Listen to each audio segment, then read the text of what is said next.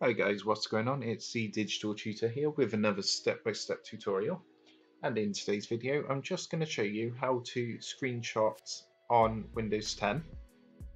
What you need to do is come to the screen you want to take a screenshot of. And then if you hold the Windows key and literally a second after pressing the Windows key, keep it held down, press the print screen button what you then need to do is go ahead and open up an application like Paint and you hold the control button and press V and that will actually paste the image.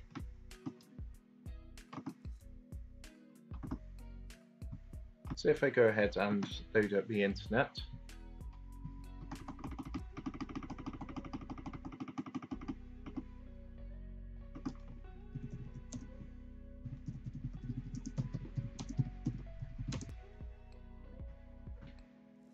So I'm just going to show you a picture now so, so you know which buttons to press.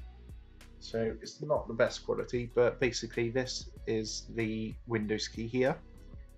So that's the one you need to press first. So you press and hold that, and literally a second after you press and hold that, you should see the print screen button. It should be up here. So you press and hold that first and then literally a second after you've got that held down, press the print screen button.